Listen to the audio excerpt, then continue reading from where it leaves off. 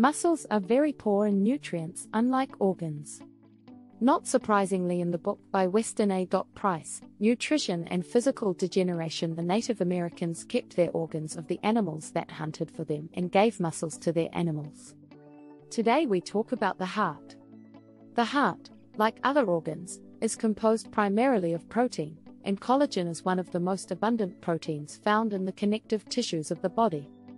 Collagen is important for the strength and flexibility of connective tissues, including tendons, ligaments, and skin. Consuming foods rich in collagen can help maintain the health of connective tissues. The heart, as a food organ, provides a number of essential nutrients, including protein. The heart is a rich source of high quality protein, which is important for building and repairing body tissue.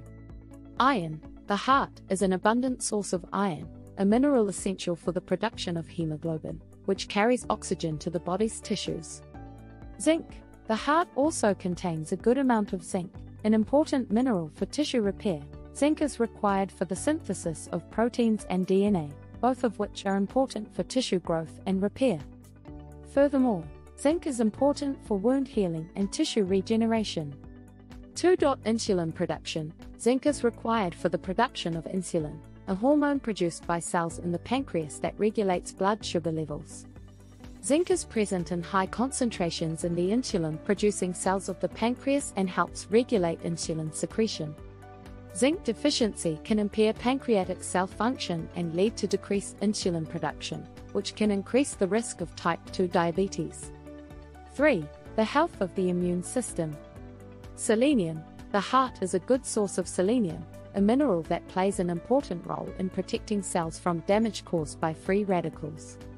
Other nutrients. Heart also contains B vitamins, including thiamine, niacin, and vitamin B12, all of which are important for nervous system health and energy production. Energy production, vitamin B12 and niacin, vitamin B3, are particularly important for energy production. Vitamin B12 helps the body convert food into usable energy, while niacin is needed for the production of coenzymes that help metabolize carbohydrates, fats, and proteins. Thiamine, vitamin B1, is involved in the conversion of glucose into energy. Nervous system health.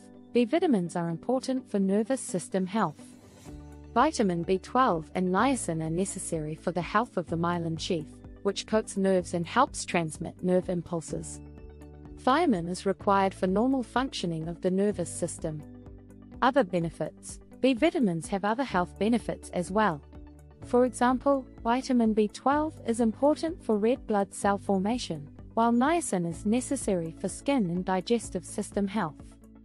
Thiamine is important for heart health. CoQ10, or coenzyme Q10, is a substance that occurs naturally in the human body.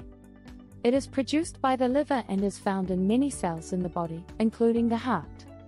It is an antioxidant that helps protect cells from damage caused by free radicals.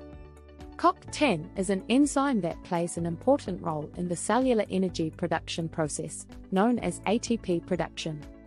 It helps transfer electrons during the production of ATP, which is the energy used by cells to function.